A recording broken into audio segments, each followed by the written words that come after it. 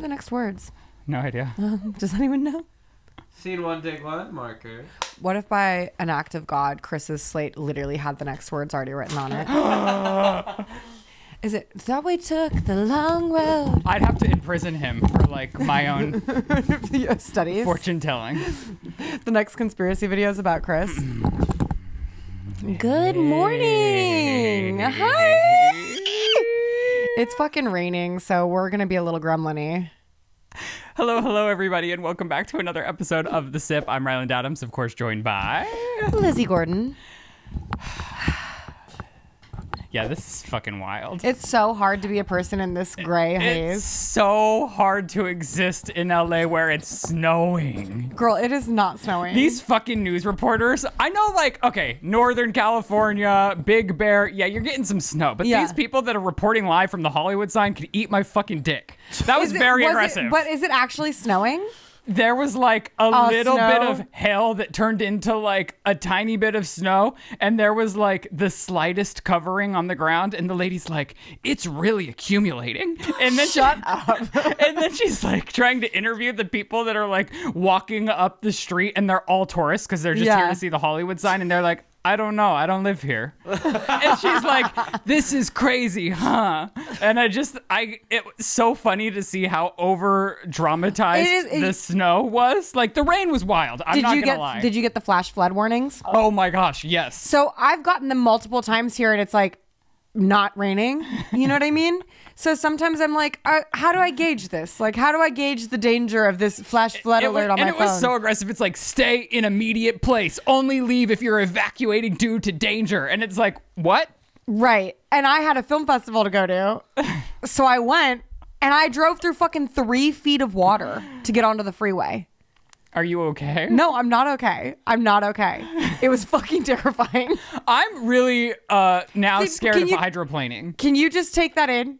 Do you know how much three feet is? Yeah, it's, It's a lot. knee. Or no, It's a lot. Yeah, it's a lot.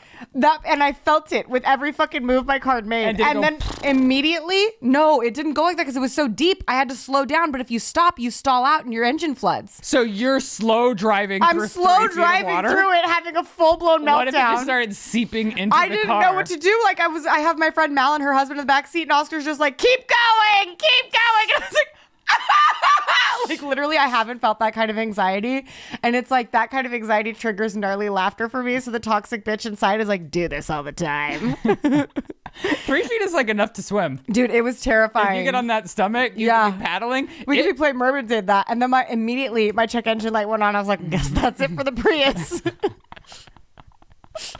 we got home because we were out filming, and I have so many trees, tree branches, Yeah. trees. Like there was a full blown tree that just fell in front of the exit gate. Like you couldn't exit the house because a full blown tree had fallen down. So dramatic. Branches everywhere. Chris was here. Chris we fell. were filming.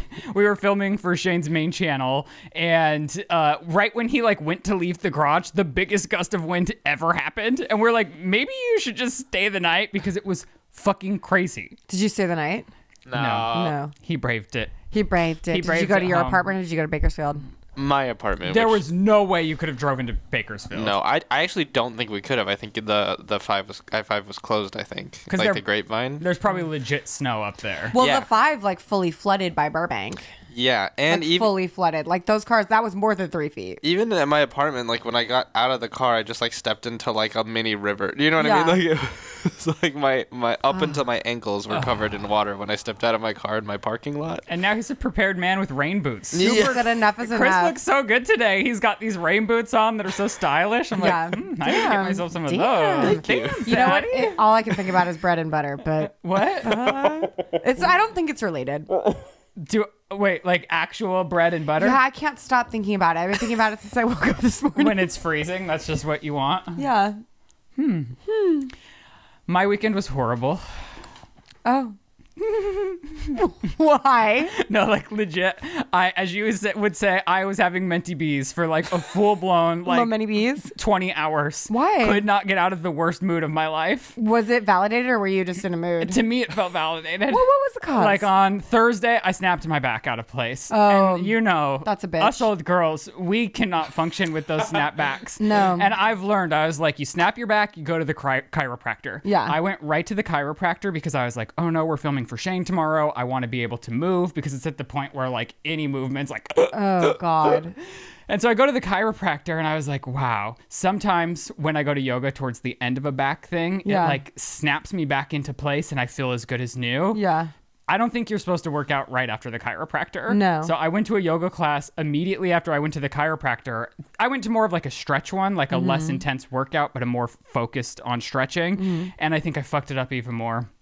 And so all weekend long, I like have not been able to move, and I've just been like in a pissed off state because when your like body feels like that, the littlest of things just make you Yeah. lose your mind. I get it. And that cat won't stop peeing on my beautiful rug. Oh my And I couldn't get the first piss stain out of the beautiful rug. I went to the store and I tried everything. I Googled and I tried all of the solutions hydrogen peroxide, di- Dawn Peroxide. peroxide, Dawn dish soap, baking soda. I literally tried every concoction the internet recommends. Yeah. Nothing worked. I tried the white distilled vinegar and then I tried every pet stain remover on the market. And for some reason, because my back was hurting so Yeah. bad, I was so hyper focused on it, I couldn't let it go. And I'm just sitting there like relentlessly scrubbing for hours. And Shane's like, You've got to stop. This is so toxic. Yeah. Well, just turn the rug around.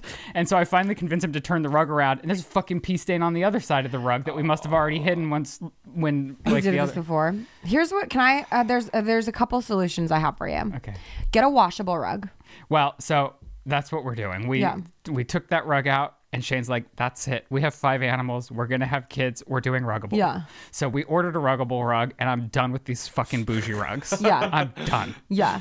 The other thing I want to say is I read in the comment section on our podcast last week, you need like two or three litter boxes So I've taken action. Okay. I've given another litter box in the house. There's now two massive litter boxes. Louis is a hungry bitch, so I've given him his own free feeding food station. Okay. And everything's been a lot better. I also ordered some spray that deters animals from peeing on rugs because I Mm-hmm. still have some other rugs in the house. But right when I sit down and like get over my fucking anger, I look up and my whole blind and wall is drenched in water. Stop. You have And another I'm like, leak. the world's really testing me because we Yeah. just paid so much money to have the roof done. Yeah. And I guess they didn't cover one of the edges. So now the rain was leaking through one of the edges of the roof and it's in the room with the really high ceiling. So it's coming all the way down from the roof, And all the way to the you can do bottom. it's can't like reach it. 30 feet of fucking Fuck. drywall. And then they're gaslighting me once they come out. It was, I spent my whole Sunday fighting with this company. They are coming out and now they're doing replacing the drywall, but that's a whole nother week of hell of Mm. them inside of my house. And like the roof was exterior, it was loud, but it was whatever. This is, they're in the house and I have to put my five animals somewhere while they're in here redoing the drywall and getting all the fucking shit out of the wall and replacing it. Jesus. Can you take the five animals somewhere and just stay somewhere else?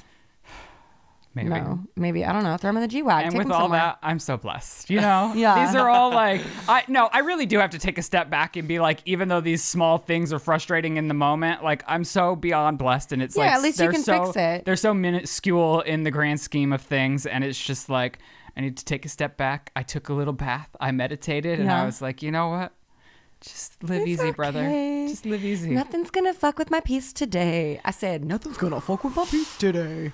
I slipped in a massive pile of piss and hit the ground so hard that my toes bent backwards and nail polish was taken off and my toe over here started bleeding. inside of your house Yeah. Slipped in a puddle of piss. Joe had stepped in it, so he was like having a conniption fit. God damn it, my! And in like my codependence, I was like, I can't have him being this mad in my space. I'm gonna just help him clean it up. So I'm like rushing to help shut this fucking 40 year old man up. And in like my haste to bring him his wet towelette, I slip in the initial piss pile. And it's like literally, it, I slipped so hard, I, the fucking nail polish flew off my toes. They're fucking bleeding. Oh, I fucking busted my knee open. And then Joe's like, I tell you, there's piss there. And I just went, shut the fuck up. Just shut the fuck up. And then I started crying. But that threw my back out, and I noticed that this morning at Orange Theory. That my hips all fucked up because we are old, like you pointed out, and it traveled up my body. What is it about the rain? I seriously think the rain brings about demons in my life, and you're so attached to my life that it like also haunts you. Uh, dude, it was actually this is actually so I don't know if I told you this, but I realized recently like I get sympathy hangovers and I get sympathy rich. like, you know what I mean? Because a couple people in my life has recently come into like huge money and it's like, I'm rich. It's like, no the fuck you're not. Like, Wait, how are they coming into huge amounts of money? a girlfriend of mine just got a three hundred thousand dollar check for a settlement. What? Yeah. Wow. Yeah. and I pretty- noticed that uh, like I did a lot of creeping on you this weekend because you like looked so cute going to a birthday party. Thank you. And I was like, damn. Oh, that's another friend. Yeah, I go to that party and I'm like, oh no, I'm loaded. It's And like so yeah, you like tagged her. So I looked at her Instagram because I was like, who's this woman that Lizze's at her house? And I'm like looking at her house. I'm like, God damn, this woman's house stunning, is gorgeous, stunning. She did all that. Wow. Yeah, her house is so fucking inspired that I, I was like joking at the party. It's like, yeah, come see my minivan. It's decorated the same way. So what was this? You got all dressed up. uh, it was her 40th birthday party, and uh, this this woman's like really fucking cool. Like, uh, you've actually met her. so what'd you do to embarrass yourself? I don't know. You're not capable of being in a room and not embarrassing. No. I think I was cool. I think were I was cool? cool? I think I was cool. Were you doing shots of Red Bull? No, I did not do shots of Red Bull. I had some di- I said some Diet Coke. Okay. There was a whole fancy fucking bar set up with like signature cocktails. The theme was a Piscean ball. There were fucking mermaids. Is she a Pisces? Is that Yeah. okay? I. I don't know. I, I don't There know anything about Pisces. There was a contortionist. There was a DJ. There was a dance floor. There was a person reading f- like your palms, like a what is what is that? palm part? reader. A palm reader. There's a person doing uh, s- sketches of people. It was fucking awesome. There This were is bitches. rich, rich. This is crazy. This is like better than my wedding. I'm never gonna have. Was, uh, dude, her housewarming party I went to, and I was like, damn, this is more lit than my wedding. And then she was like having this party, and it was like flooded, and my check engine lights on, and I was like, baby, I'm kind of scared. And then she posted a picture on her Instagram of Dakota Fanning and Elle Fanning all fucked up, and I was like, guess we gotta go. Like this shit's about to be fucking sick. Joe and I spent three hours at the mall. I got two outfits, couldn't pick one. Why didn't you wear one of them here? I will eventually, but it's fucking raining. And also, we need to go to Vegas. We, we can use my Southwest points and go to Vegas. Okay. He says okay on the pod. But uh, when I was texting him, this bitch was like silent. No, I, I replied to you. I would go to Vegas. Shane's been thinking about it for his podcast too. Maybe we can just Um, do like a, a week duel? long. Yeah. I can't do a week in Vegas. Okay. Well, you can I would go die. on your own. Okay. Can I take one of your cars? Because my Prius is done.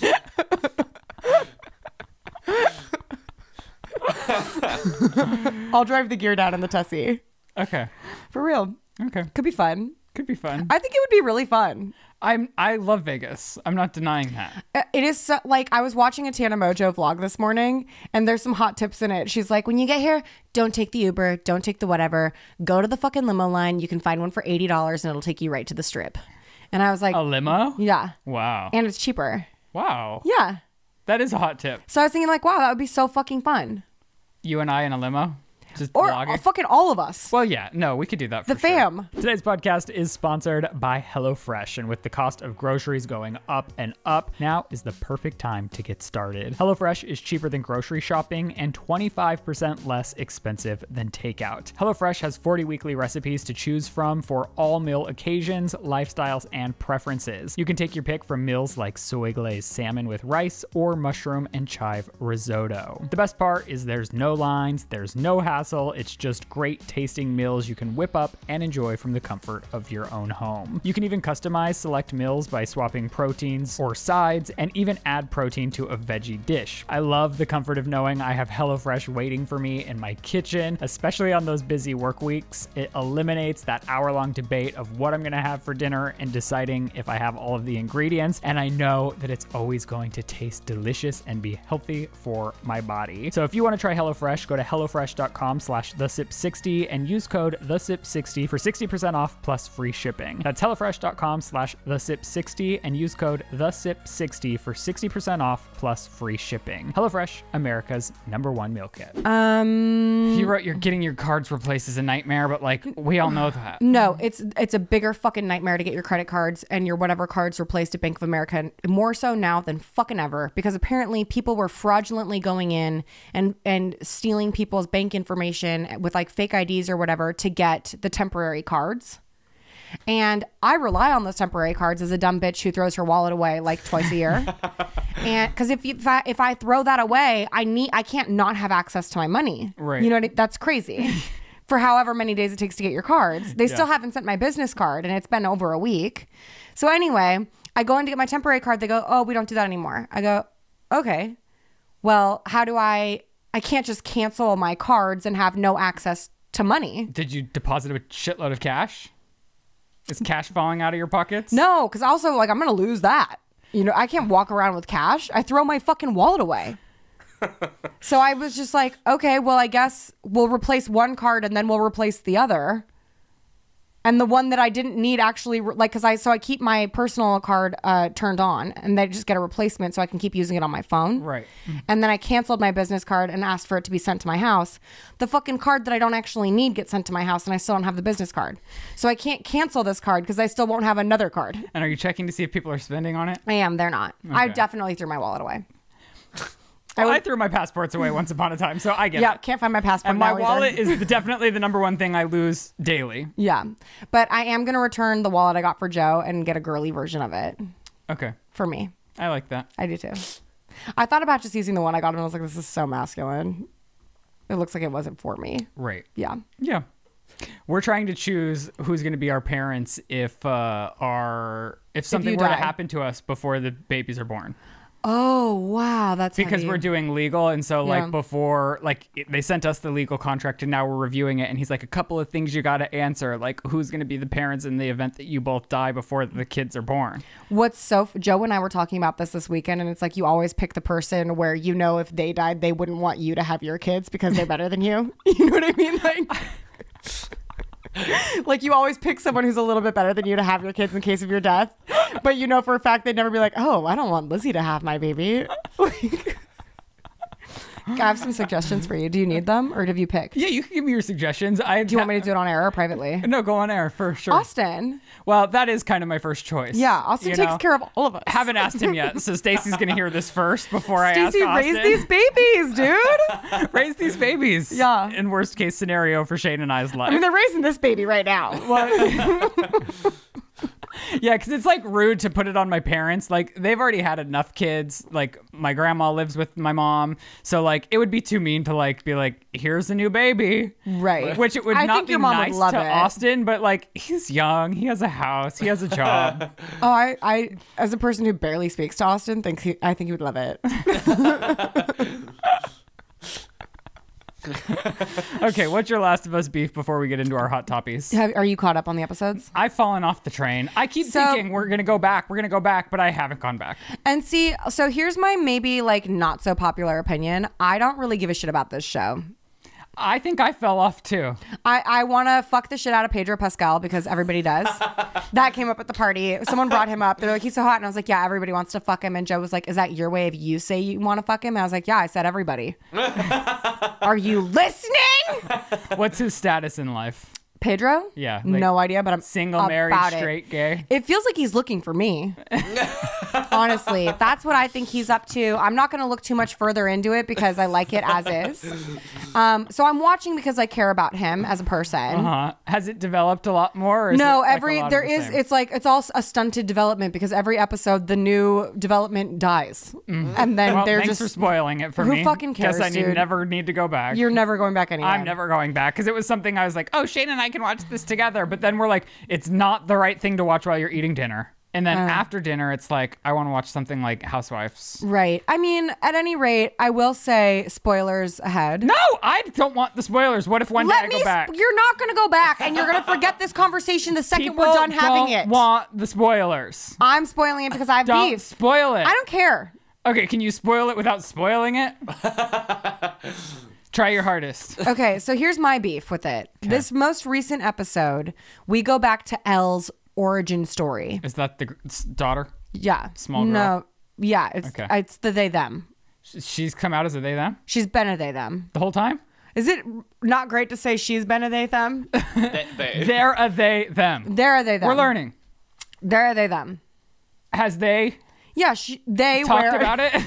I believe they have. Talked I'm not about trying to be mean. I'm not trying to like be really Yeah. bad. I just I don't remember in the show that ever being. No, I'm talking about the person in real life. Oh, oh okay, okay. That's completely And- different from what I was well, thinking. it's part of the character as well because they wear a chest binder. Okay.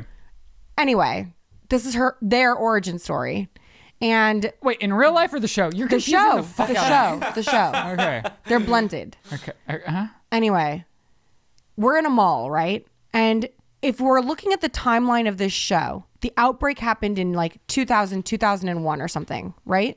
Okay. Which means that, and then in, in another episode, they say we're 22 years into this mess. Mm-hmm. So if this child is fucking 16 years old, she has never known normalcy of the world. Okay. And it's not like they have music because it's a bleak fucking existence, which they've established. They don't have TV. They don't have movies. She's basically like a sewer rat who has no parents, also. So nobody has told them what the fuck life used to be like. okay. This whole episode is these two kids who are 16 or 16 to 19 who have never been alive during a normal time period being in a mall feeling nostalgic listening to 80s music and playing arcade games but like there's not a chance in fucking hell that a post-apocalyptic kid is going to run into a mall and be like I fuck with Mortal Kombat heavy. You know what I mean? Like they don't know. They don't know. They would they like turn a carousel on, prepare it, I'm and they really- just like knowing exactly what the fuck a carousel does, but it's like no one told you what the fuck a carousel was. How did you know to turn that on? You can't just suspend your reality for a second. Not this heavily. And then the other thing that's fucking irritating is like it's got 80s nostalgia music playing, but it's like if anything were to be playing in this mall, it would be whatever was playing on a loop in 2000. right. Not the fucking 80s song that the writer is obsessed with because the writer came of age in the 80s. And the writer fucking played Mortal Kombat. Okay. Now she's dragging the creator. And I love the creators. I listen to the creators podcast every day for five years of my fucking life. Really? Yeah, huge Craig Mazin fan, huge John August fan. And to be completely honest, Craig, I think you've sucked a little bit too hard on your own dick. and I mean that with every fiber of my being, sir, respectfully. I love your work. You taught me most of the things I know, and you got to chill out a little bit, bro.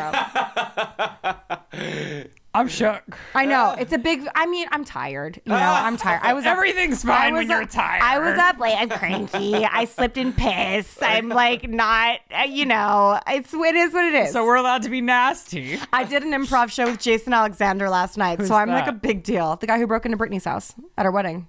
Just kidding. It's the guy from Seinfeld. Wait, what? I, the, what? You wouldn't know any of these things, so don't worry about it. Okay, I hope they did.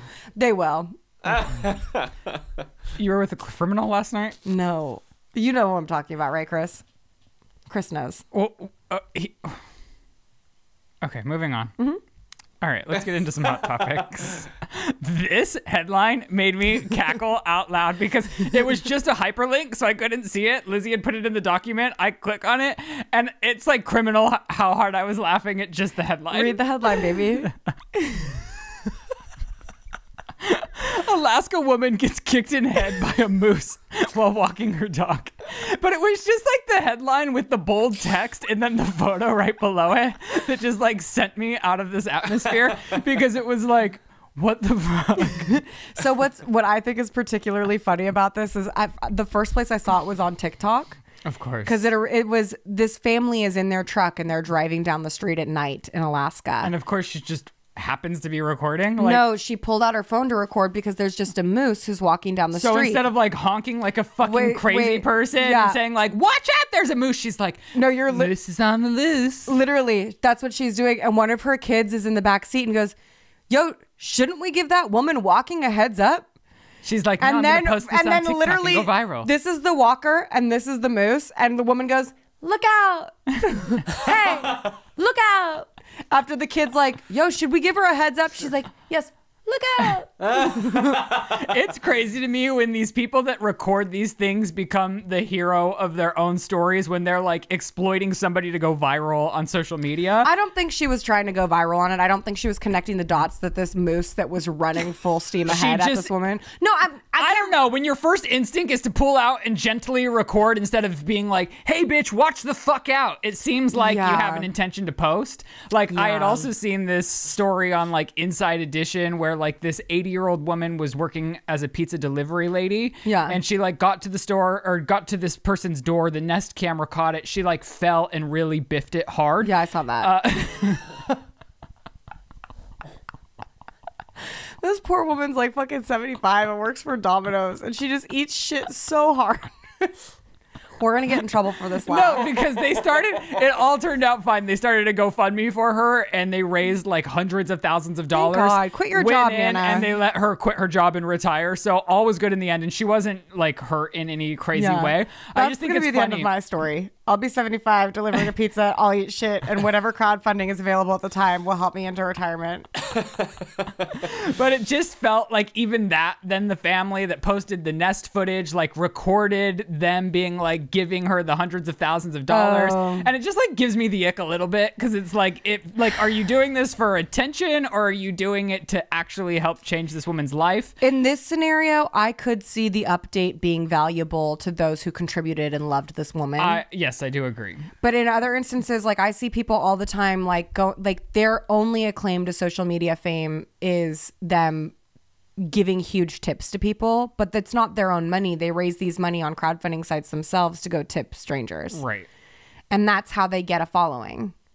So it's like that that, you know, sure it's icky, but it's still great for that server. Yeah. Yeah.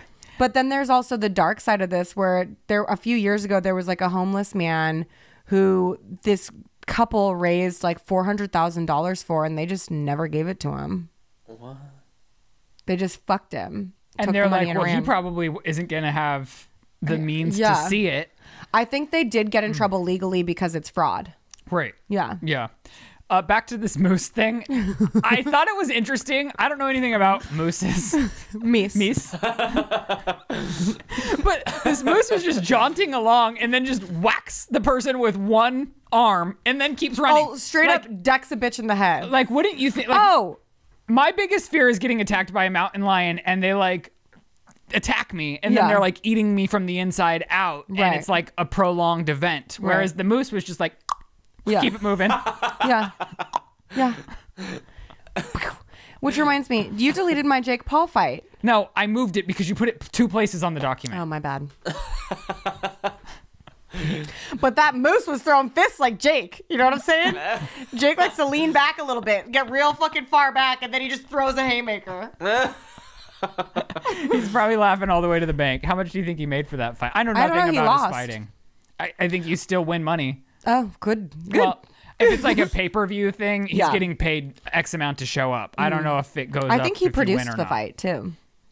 wow Did you didn't watch it? no what I, I watched it. you did Yeah. You were with people that wanted to watch it. You I- didn't I wanted it to watch yourself. it. You wanted to watch grown men fight. Yo, here's another unpopular opinion on this episode of Let's Cancel Lizze Gordon. Just keep adding them up. Tally them in the comment section. like- I'm and at this point, I don't even care to cut shit out. I'm just like, Let her go. my back hurts, so I'm just gonna let things happen. So I think the Paul brothers are like super inspiring. I oh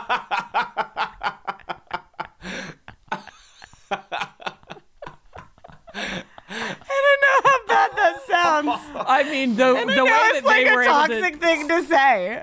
the way that they were able to turn like a good YouTube presence Yeah. into like mainstream all every dude in Yeah. America like jizzing over you Also, like pretty incredible. the fa- like as a person who who lightly vlogs once a week and can't believe how much effort it takes and i put like no effort into it do you know what i'm saying Yeah. like i will my vlogs at most I wouldn't six say- hour endeavors This isn't a good like sell for your vlog channel right now. no but it's like that's all i can put into it Right. you know what i mean and they did it every fucking day at a very high energy level edited And- very well. edited very well. And on top of that, you see these boys and it's like they're that that's a version of acting. They're playing Yeah. to their audience in that and it is a fucking demoralizing character to play. you know what I'm saying? Like that is awful. That must have been psychologically really fucking hard. to- Yeah. And then not only that, but they had the tenacity to capitalize on other influencers and take coin from them as well. like, oh my God. But more than any of this, I'm not like, this isn't even why I think they're inspired. Sure, it's low key evil what they do. what I am inspired by is like, I heard Logan talking, I think, on Jeff FM about his like work ethic and he's like talking to Jeff and he's like Jeff but if you know your brand man you got to lean into your brand and it's not just about your brand right now it's like what can you grow it to be? This is your job. Do your fucking job to the best of your ability and imagine what you could have by from doing that If only I could take that on advice on this podcast. I mean I take that advice in like other aspects of my life yeah, but I, yeah. and it's like it's just the way that they like rise and grind is fucking impressive The work ethic is very impressive. Yeah. I mean, they're up working out all day, every day. They're working Yeah. all day, every day. And it's like, damn. sure they take time off to have some pill addiction issues but like who doesn't you know no i just mean like a few of the things that like even the name of their fucking company is like rise and be original i think about that sometimes and i'm like yeah i will do that. I am original. I am there's nobody who's as stupid as i am. You know what i mean? I can lean into that. I'm gonna be i'm gonna name my daughter maverick. You know what i mean? I yeah, I'll stop. but I was watching the fight thinking like he's leaning back a lot. I enjoyed it. I had a good time. Sorry. I love like your l- admiration, love for them, but then like harsh critique at the same time. It's really great. Yeah. Okay, so Addison Rae is set to star in a new horror movie, Thanksgiving, opposite Patrick Dempsey. Yeah. A group of survivors fighting zombie like creatures and an action thriller about a stuntman targeting victims with his killing machine car. No, you mixed up two different movies there. Oh, okay. So this is uh the stunt car thing that you were just talking about is actually from a movie called Grindhouse. That inspired this movie. Right. So Grindhouse It's very confusing and I got very bored. I'm trying to explain it to you. Okay.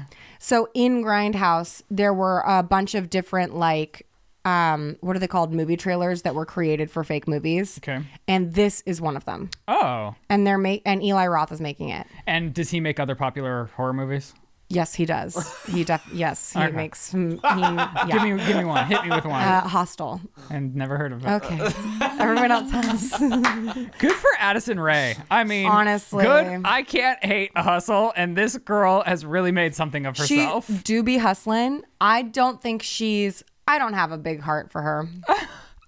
I know I, I- I- as a person who just stood here defending the Paul brothers. I feel I have I it, weighs heavy on my conscience what this woman's had to deal with in regards to her like family siphoning off the fame like her dad and her mom are kind of like Fame's an ugly thing, and money's an ugly thing as well. yeah.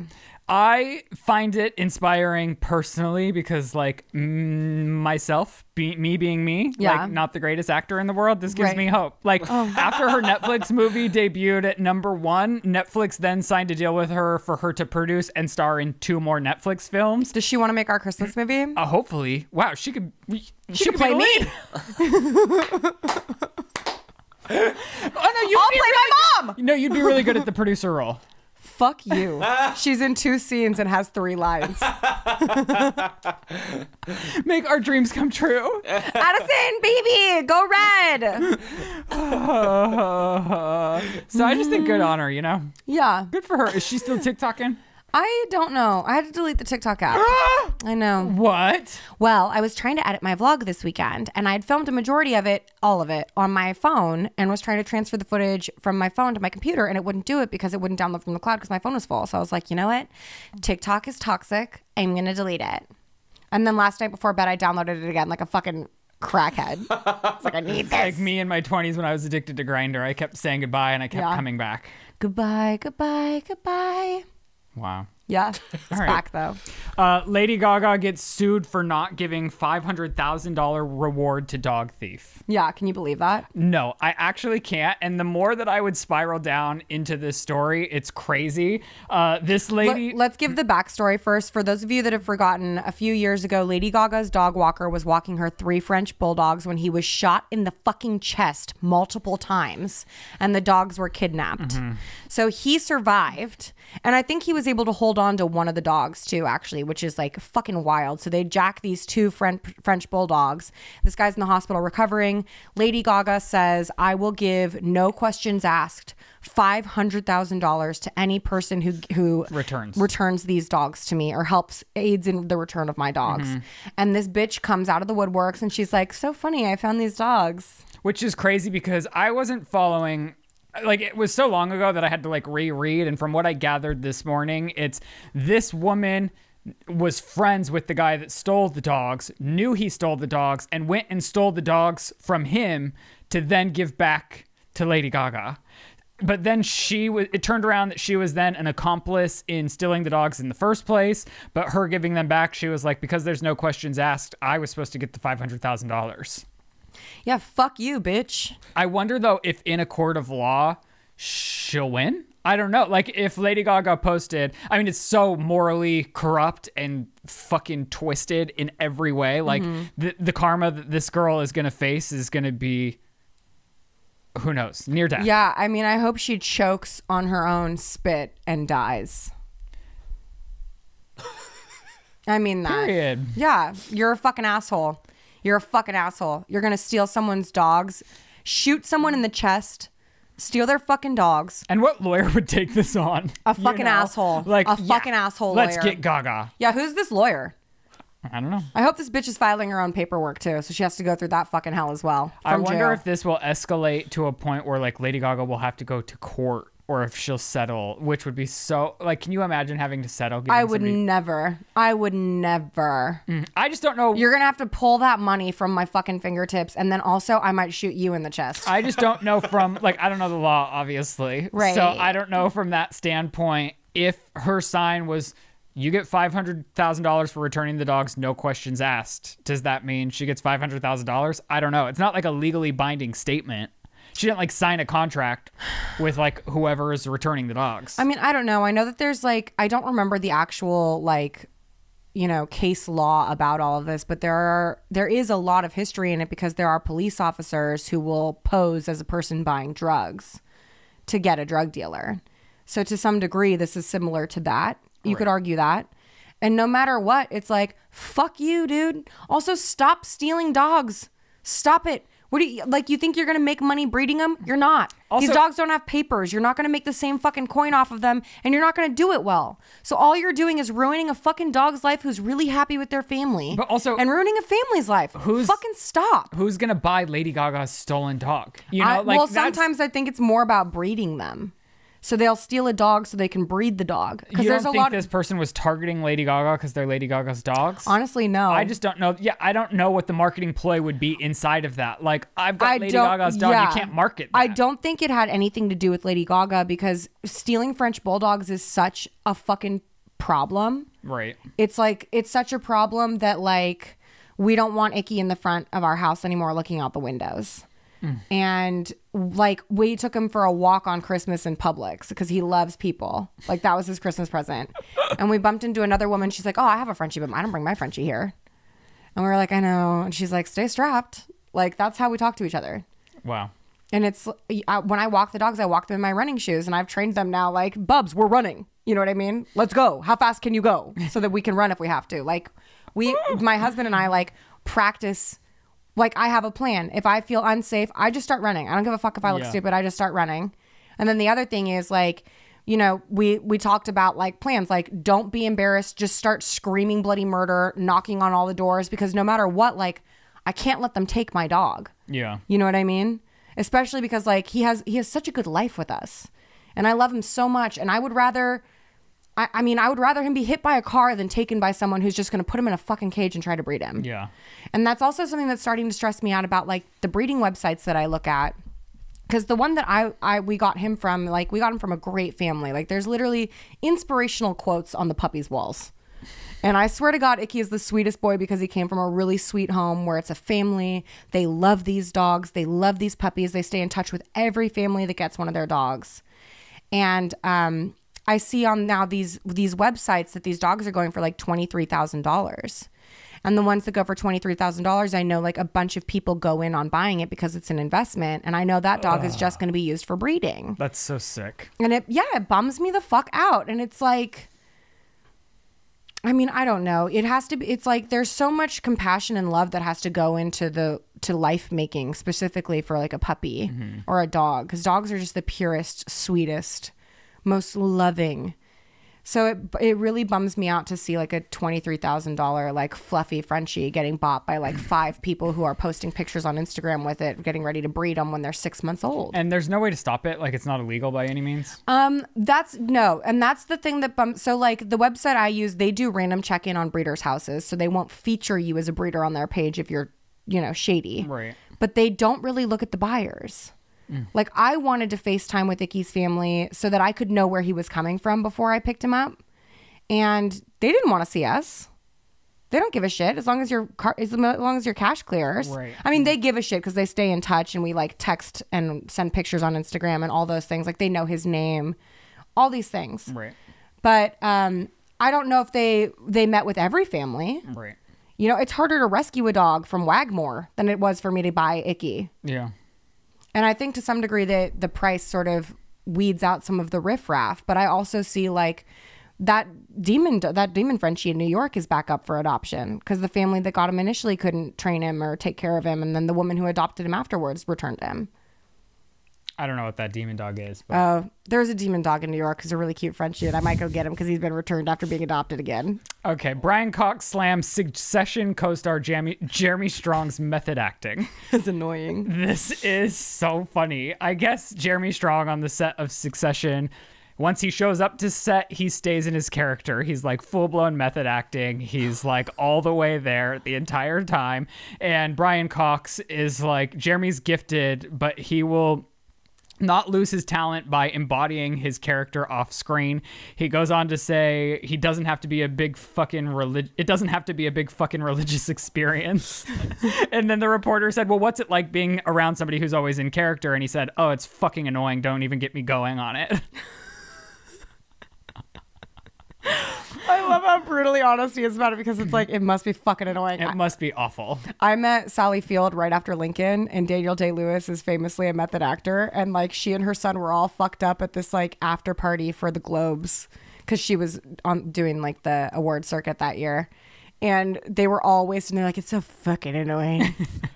I, the son's like, I would go see my mom, and I had to call this fucking guy Mr. President. the fuck?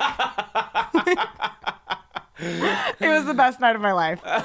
It was so sick.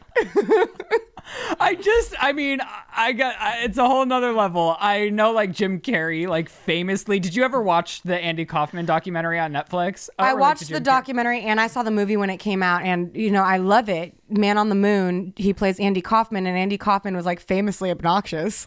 like, But Jim apparently, while filming that movie, like did not break character. Like there's footage of him like r- crashing cars into like the studio sound stages. Yeah. and he's like he he's saying like the character doesn't want Jim to come out, and he's like just staying full blown there the entire time. Wild. And now Jim, even present day, when he's like doing the like confessionals for this documentary that they made about him being a method actor for mm-hmm. that movie, he's just like sitting there like, yeah, Universal didn't want any of this footage to get out because they thought everyone would think I'm an asshole, but I don't care.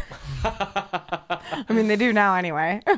everyone thinks he's an asshole. yeah, Jim's had like a rough few years. I, I mean, think. he's so talented. He's recently like garnered a little bit of his like Hollywood love back, but there was like a period there where everyone was like, "Fuck him." But he's so talented. He's so talented. I mean, I don't know what he did. Other like, was he just like generally kind of rude to people, or just like Mm. in his own lane, not like I could be wrong, but I think it's pretty dark.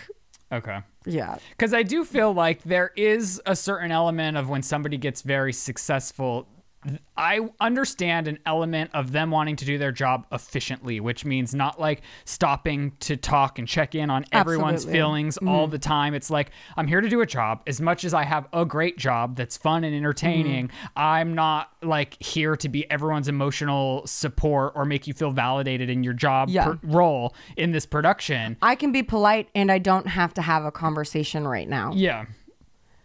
And I think that's where a lot of these huge actors get a lot of beef because like they like help the help or the subordinate workers amongst them will be asked to not speak to them. Which I understand. It's I mean, like I get it too. And you're, if this is a big role for you, if you're a big actor, you're taking a movie because you think this is the right step for your career, which Mm-hmm. there's a lot of pressure on choosing a right role because Hollywood's all about momentum. If you lose momentum, you won't get the roles you once had. Yeah. So it's like, I'm preparing to do a huge fucking monologue. I don't want all the crew members telling me they loved me in this movie or Yeah. like bringing me away from or what I'm thinking about. talking to me about anything. Yeah. I'm I'm I've got to focus. I hate when Joe comes in the room and I'm writing, and he just says nothing to me, and I'm like, hey. He's like, oh, sh- am I bothering you? It's like, yes, yes, you are. I love you so much. I love you so much. but yes, you are. and see, and that's the person you love most. Yeah. So imagine a stranger. Like literally didn't want to come here today. I just wanted to cuddle with him and the dogs. and I, and I, it's like, don't don't talk to me. He's like, you never listen. It's like, you, why why would I listen to you right now? You just interrupted me. But um, I mean, I don't let either of you talk to me before this show. no, he literally. Yeah, oh my God, you say it. I don't. Yeah. You said don't talk to me. It's not because I don't like you guys. I just don't want it yet. I mean, man, that just got so hot, so hot. Dang, I was gonna say something I uh, completely forgot. Most recently was Austin Butler, obviously, who just like can't kick his character, which I think is in the long term gonna affect his future roles because if He's like, giving me the ick. if casting directors can only see you as that, even in your real life, it's like how am I gonna cast Elvis? You know? Yeah, he's giving me the ick. All right. Well, Paris Hilton's family didn't know about her son, who we now know is named Phoenix. Did we did we already talk about this on the podcast? Well, we talked about his name. We didn't talk about her recent. That was before she posted a photo with him. Right. And now she's revealed that none of her family even knew that she had a surrogate pregnant until a week after the child was born and Yeah. in their lives. Could you imagine keeping a secret like that? No, I tell everyone on the internet every step of my journey. I would die. I think because, I mean, I would internally combust. I couldn't talk to anyone. I would have to fake my own death. like, cause uh, like honestly, if that's and then it's like a double reveal, surprise, and a baby. This is like a trend now. I People are showing up at their family, like non-famous people are showing up at their families' houses with fucking babies in crates. Here's the and they'll do the whole announcement, and then they'll be like, "And guess what? Here she is." And, And- then the parents of these parents are like, "What?" okay, the dark and twisted part of me is like, do you think if Paris even told any of her family members, like, well, what if her mom said it to like one of her sisters, and then her sisters, and then it gets out and it leaks, and Mm-hmm. then her like big baby reveal is like. I'm not saying that's what she did, but like Paris Hilton loves a good press moment. So Yeah. like the toxic part of me is like maybe she didn't tell her family for that reason, or maybe it's people protecting themselves from heartbreak because I think to like if something didn't go right or if you've let everyone in on your journey and then you also have to live the heartbreak with everyone and mm-hmm. have everyone coming at you with questions or sympathy. I think there is a large element of celebrity that probably just doesn't want to deal with that heartbreak publicly. And I, I totally get that. And i think about that sometimes like if i am if i'm going to continue to vlog through my fertility journey mm-hmm. the most annoying part of it is my mom and joe's mom watching these podcasts and then discussing amongst themselves instead of calling and talking to me. Do you know what i mean? You're also more so just like you want the in-person attention rather than than them being i don't like, even want that but i definitely don't want them talking amongst themselves as if this is the actual information. Do you know what i'm saying but the but the Are you saying you're lying on the podcast? No, but I'm like, I don't want my close family members to think that this is a form of communication with me. Right. Like, you got to talk to me. You know what I'm saying? Right. This is this is not a conversation. You know, like this. You, you you know what I mean? You just feel like sometimes they can watch you for an hour and be like, I know what's going on with Lizze this Oh, week. literally, they're like, well, I was gonna call, and then I watched your podcast, and I just decided not to. And it's like, okay, that's fucking fine, bitch. But um, but more than anything, it's like I think about that. Like, what if I can't have a baby? And then I've uh, put it all out there. But then I remember, like, you know, if there is anything to pain and suffering, it's that if my pain and suffering can be relatable to somebody else who's in pain and suffering, and that alleviates a little bit of pain for both of us.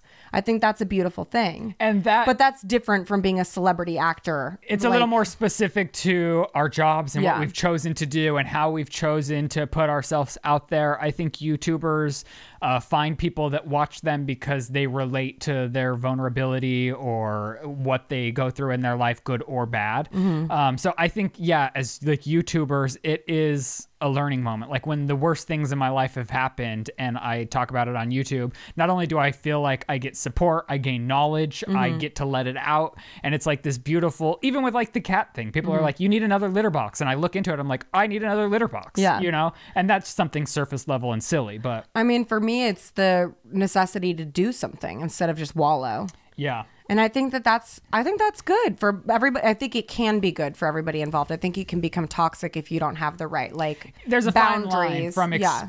being exploitive, exploitative of your own life and people and things in your life Yeah. versus like sharing for a purpose or a reason or a mm-hmm. greater cause. yeah. Yeah. Good on her for being able to keep that secret, though. I couldn't. Real sneaky. Bitch. I have to tell, like, I we get every update with this journey for us, and I'm like calling my mom. You know, She's like, "Shut up! I heard it on the pod." um, I think we should probably just get into advice, right? Advice though? Yeah. You don't want. What was this? Um, you already Oh. talked about that, and then the wedding thing. Hmm. Oh, you don't want to talk about the wedding thing? I mean, you can if you want. because I thought that was a great idea for a movie. Okay, talk about. I it. mean, I'll hold it close to my chest. But I thought it'd be a great concept for a contained film. Okay, well, let us in on the story. No, because then everyone else is going to make the movie. Oh my gosh, you're such a fucking tease. You know Craig Mazin's listening right now. and you know he's like, I wonder what Lizze's going to make that movie about. He's never casting you in anything or working with Fine, you. I don't want to be casting his thing. Wow. I'm busy. Vlogging. For five people who won't take my calls anymore. It's fine. Let's get into some advice, though. Ryland is titled "This Bi Girl in Relationship with You're not supposed to read my titles. Oh. It's just so you know if you want to do it or not. Got it. Got it. Got it. Got it. Got it, got it, got it. Hi, Ryland and Lizze. Hey, I- girl. hey, I would really appreciate some advice on my relationship. My boyfriend and I, both 23, have been together for three years, and I love him very much. Leave him. Stop it. This is the healthiest relationship I've ever had, and I can see us spending our lives together. I'm bisexual, but have never been in any sort of relationship with a woman, and my only worry is that I will regret never exploring that side of myself and possibly end up resenting my boyfriend or our relationship. I don't want to throw away something so special to me, but it feels like I'm cho- closing off a part of myself. And all advice appreciated. Sending love to you all, especially Chris, who's just the sweetest. Wow. Wow. um, I don't. Uh, my personal feeling is, uh, I mean, I don't know. I'm not bi, so I can't speak to the want to explore or having never explored regrets. But I can say that if you are in, for me, a forever relationship means that there's no sexual stray. But mm-hmm. that's me. You know? I would say because you're 23, uh, it sucks because you're at a point in your life where this is a healthy relationship. You like him a lot. Everything's going well. The problem is, I do fear like your concern of being maybe 50, having kids, and then still feeling this strong urge to explore something you never got to do. I would say love has a weird way of working itself out. What's meant to be will be. I would be very honest with my boyfriend and I'd say, listen, I love you so much. This is the healthiest relationship I've ever been in. I'm having these feelings. And see if you guys can come to some sort of something together on your own. Whether that's like, okay, let's take six months and reevaluate, let's break up. Let's explore. I mean, I couldn't do a third party in my relationship, No. but I'm just saying I do think you're doing a disservice to yourself if you don't not only bring this up to him, but try for yourself. Mm-hmm. And I think if you're thinking about it enough to write us about it, Yeah. it's something you're heavily considering or needing to do. I know that when I needed to hook up with a guy to kind of confirm why I felt off for so long, like questioning why I wasn't like taking to the girls that were initially like throwing themselves at me like i could mm-hmm. tell like you can tell when somebody's into you. And i like my best friends in high school would be like what are you doing? Like why aren't you executing this? This is like like this girl's all into it. And i'm just like i don't know. And for a long time i thought i was crazy. And then i hooked up with a guy and i was like oh everything went mm-hmm. off and maybe if you are genuinely bi and you go both ways you can find your your way back to him but i just i i think you need to like be brutally honest with your partner and then come up with a plan for yourself Yeah. To extrapolate on my whole the love doesn't stray sexually thing, like if you're thinking about something else or somebody else, that probably means that this and, and just being healthy is not a reason to stay in a relationship. Yeah You know, we we are in a day and age where we have the luxury of not just settling for healthy. Like you can have you can have it all. You can have love, you can have health, you can have passion, you can have all of it. And um, you know, sometimes the perfect relationship on paper doesn't equal happiness Exactly. You know? And so if you're not happy and lit on fire by this thing because you're thinking about something else so severely that it's distracting you, I would say pump the brakes on this. Also, young as fuck. 23 very is young, young as fuck. and that's what i don't know like if you were 30 and like engaged Yeah. i'd be like i'd really consider and maybe like reach out to a therapist Yeah. um but because you're so young i uh, brutally honest conversation with him because this relationship Yeah. is healthy Yeah. and then figuring out your next steps i think is ideal yeah. yeah Yeah. i think we did that one right Yeah. Did we do this one? No Um, I hope you all are doing well. I'm currently planning my wedding. Both me and my fiance are in recovery, and I know Lizze is in recovering is in recovery, so I need advice. I know I absolutely don't want liquor at my wedding. I think I'm okay with beer and wine, but I'm having second thoughts. I have read on wedding threads though that guests can get bored if there is no alcohol. Lizze, did you have alcohol at your wedding? If you did, did you get triggered at all? If you didn't have alcohol at your wedding, did your guests still have a good time? I have three years sober and my fiance has four. Alcohol was not our drug of choice, but my mother in law is saying it'd be better to just not have alcohol altogether. But I don't want people to be bored. I honestly think me and my fiance will be fine if there is alcohol, but I guess I'd also just like to be prepared for anything in case anyone gets triggered. I look forward to hearing from y'all and love the podcast. Um, it's your wedding. Don't have alcohol. If you don't want alcohol, if you're not happy to pay for the alcohol, fuck it. You have a DJ there. They can dance if they're bored. I agree. And I think if it's a concern of yours at all, you should just nip it in the bud. I mean, obviously, I'm a big um, cheerleader of your wedding is your day. Like, Yeah. I didn't. I not that I didn't consider those closest to me, but I wanted it to be about Shane and I's relationship, how, what felt most authentic to Shane and I. Mm-hmm. And the wedding's supposed to be the best day or one of the huge milestones in your life. If you think there's a chance that you could be triggered by a substance at your wedding, I just think it's not worth it. Yeah, it's not worth it. And it's, if- and it's money, dude. It's expensive. And if you have guests that are like, oh, I'm not going to come because there's no alcohol or that's going to be boring, they're not your real friends to begin Yeah. with. Like, if you would have told me there's no alcohol at my wedding, I would have been like, great, who cares? Uh, there was alcohol at my wedding, and like to be honest, like I wish there wasn't. I get a little bit annoyed around people who are drinking. It's just not, it's like, and it's not even because I have an alcohol problem. It's because it's annoying. well, and I don't think, like, I don't think Being you around mind- a blackout drunk person Yes, is like really you don't mind annoying. if I have a glass of wine. It's when somebody is like, and a lot of people at weddings do get to the point of blackout. Yeah, people It's- get wasted at It's not casual drinking at a No. wedding. It's not like we're going to dinner and I'm having a glass of wine. It's like I'm having five cocktails. I'm puking in the bushes. I'm gonna fuck my girlfriend in the bathroom. Like my twisted cousin brought coke and we're all blown out. Like It's not. It's annoying. It's fucking annoying. And if you're worried about people being bored, instead of spending the alcohol, the budget on alcohol, why don't you spend that money on like carnival games Yeah. or experiences that people can engage in? Yes, because it's Yeah. like you can. That's a lot of money you're saving on alcohol. Yeah. You can hire experiences or games or anything fun. I don't think I would work to please anyone else, especially if you guys are going strong with three and four years of recovery. yeah, and it, it's not even about triggering your ism. It's just your day. Yeah. And if you don't want it, you don't have to have it. I agree. Don't spend all this time to then have all this drama, and especially when you're bringing all these family members together, Mm-hmm. like the alcohol only like really expedites the amount of possibilities for fights or arguments or riffs. Yeah, and like for me, it's like I want to remember this day. Mm-hmm. I want to remember it with my friends. I don't want my friends to be like, "Oh my god, I totally forgot I did this thing at your wedding," or like, "I'm I was up all night drinking and forgot." Like, are you are you cool with me doing? It's like, no, I'm not cool with any of it. If you have to ask, you know I'm not. Right. Don't do it. I say stand strong in it, Stand girl. strong, Just yeah. don't do it and your day. and live for yourself. and They're probably your already married. This has been on here for a while. Oh, sorry, girlfriend. I hope you didn't do it. We're the worst.